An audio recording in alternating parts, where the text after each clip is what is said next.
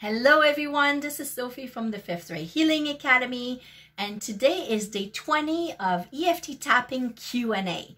So today's question is, can I get permanent results with EFT tapping? And the good thing is, yes, yes, yes, you can. so I've been a practitioner for almost 11 years and it's been a really amazing, magical journey to be able to witness my clients move through what they need to move through and get permanent results. You have to be patient. So the trick is to allow yourself the gift of healing and knowing that you're worthy of it. So take the time to allow yourself to move through it. Um, EFT tapping works if you find that you're not experiencing the benefit of it be curious as to why. It could be simply that you need a little bit more training. Uh, you might need to do or want to do level one and two and see how that goes so you can be really efficient.